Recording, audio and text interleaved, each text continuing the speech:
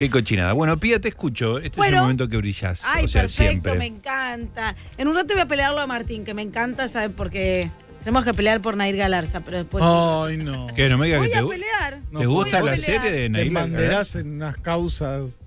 ¿Fue que es de Telefe? No. película. Nada que ver. No es de Telefe. Mirá, te por están, te favor. están acusando. ¿Es de Gran Qué Hermano? feo, qué feo.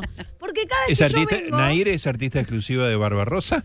No, ni lo hice en la Barbarosa, lo hice para mí personal. Pero cada vez que vino a este programa le dije, ¿qué tenés de esta serie? Y nunca quiso hablar conmigo del tema. Entonces Ah, quería Ah, después. tenemos que hablar, sí. no sé si Después- hablaron del tema acá. Ah, sí, brevemente. Anto me pero- dijo que algo, algo habían hablado, pero quiero que, que charlemos y le contemos a la gente cuál es la opinión de Nair Galarza y lo que va a pasar con la otra parte, porque hay una historia que se está escribiendo, pero no quiero quemarte la data si no la tenés. Voy a ir, sí, porque Lo no- mataste. y no, Lo tiraste abajo un camión. él se cree que, no podemos hablar de serie los dos. Claro, ¿viste? Cualquiera, ¿viste que ya? Bueno, ¿de qué querés hablar? ¿Tenés ganas que hablemos A ver. de un tema que eh, nos va a importar a todos, porque el tema es el casamiento, yo sé que todo está muy, muy caro, pero esto eh, nos va a involucrar a todos aquellos, a los camioneros que la escuchan, a cualquier parte del mundo donde estés, gente viajada, todo. Se viene una boda. Ajá. Ajá. Entonces cuando se viene una boda, hay que pensar en todos los detalles para esa boda. Claro. La gente como uno, como Noriega, Como yo diría, diría. ¿video sí o no? ¿Video sí o no? Sí. Y Sí. tu respuesta. Sí, Pero video, hoy en día no se puede. no. La imagen es. ¿Eh? No se puede no hacer video.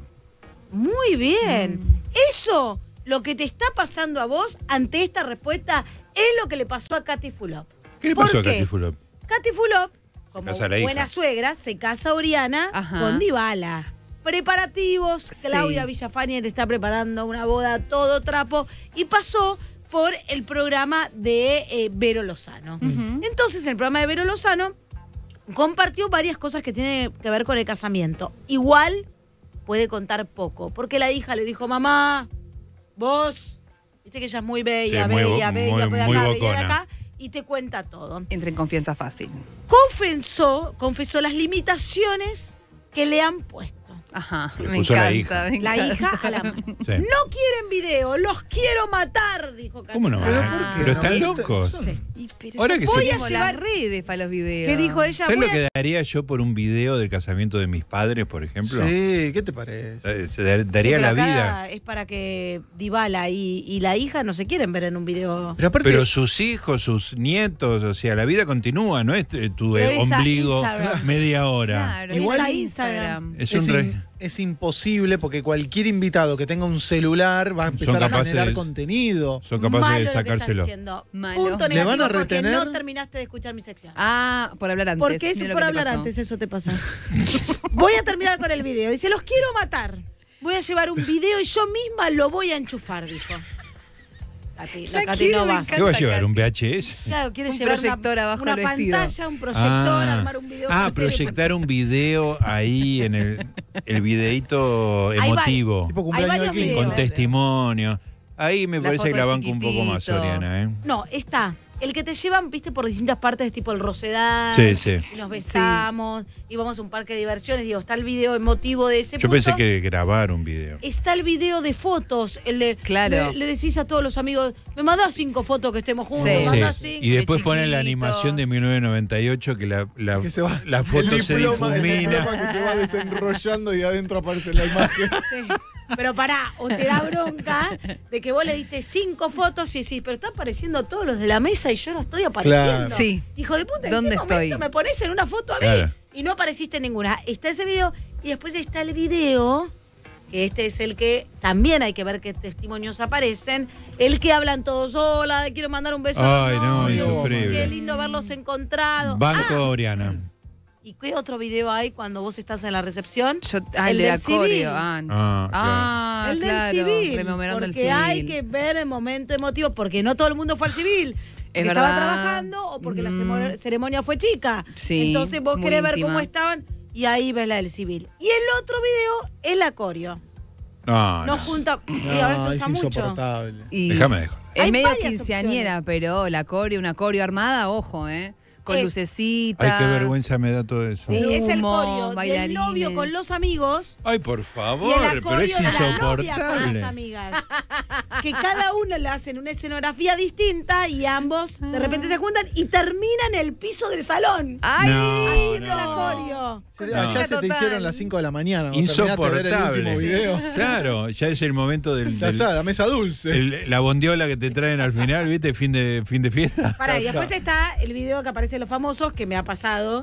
Que pasa que vos decís, hola, ¿podés saludar a Pedro y a Marta que se casan? Y, pero le podés decir y hacer el chiste. Entonces, hola Pedro, hola Marta, soy Pia. Así como si fuera una noticia, dale. Así como si fuera una noticia. Sí. Dale, que estás ahí No, con sí. Georgina, dale. No, podés, sí, eso sí, para hacer las aperturas. Pero si no es Pedro, Marta, como. Ay, qué lástima que no puedo estar en el casamiento. Les Sí, mando un beso enorme. De esos tenemos listados. Ahora, yo fui a un, a un acto escolar donde hubo un video con un saludo, ahora no me acuerdo, Ay, de ¿quién Diego era? Torres. Ay, Era, qué la, lindo. era toda la fiesta giró alrededor de ese saludo. de tres- Hola, sí, ¿cómo andan? Soy Diego Torres, le mando un beso grande a séptimo grado, ¿verdad? y especialmente a, no sé, Juanita, que esto, que lo otro, y todo está bien, era como, ah, Diego Torres.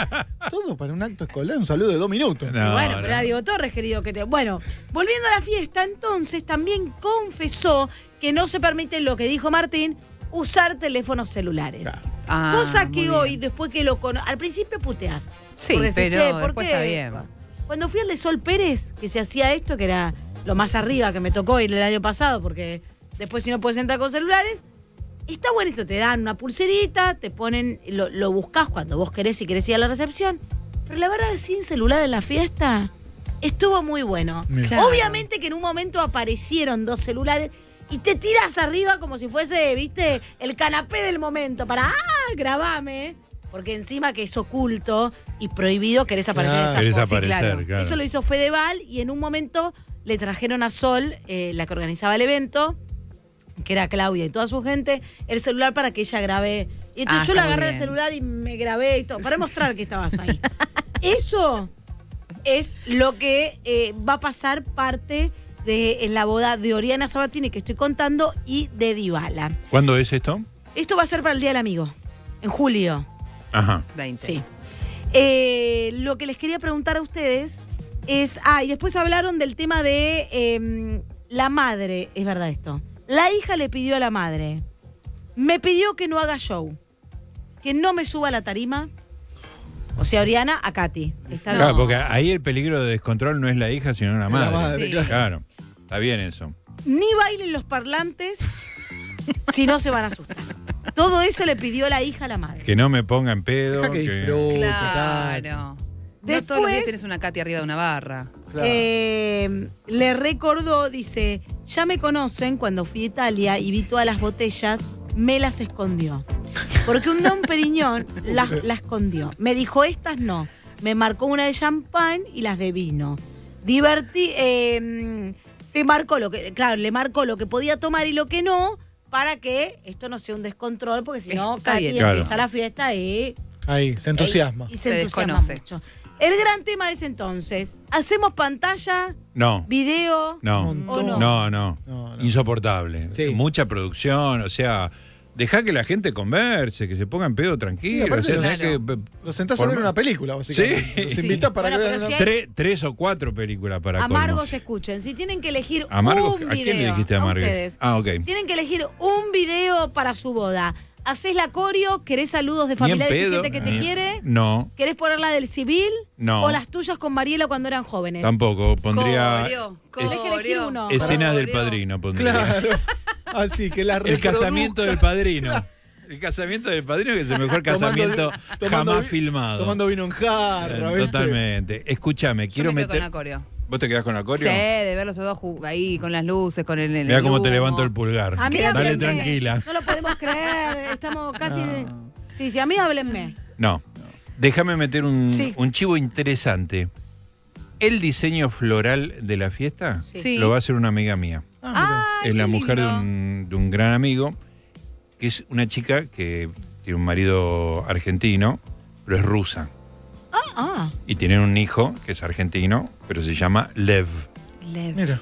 Lev Iglesias, que es la mujer de mi amigo Hernán Iglesias. Se llama Irina Katsernova y su Instagram es irinak.ba. Si se fijan, tiene un montón de arreglos florales. Sí. Y, y te cuento algo que es muy gracioso. No sé si ella va a querer que yo lo cuente, pero.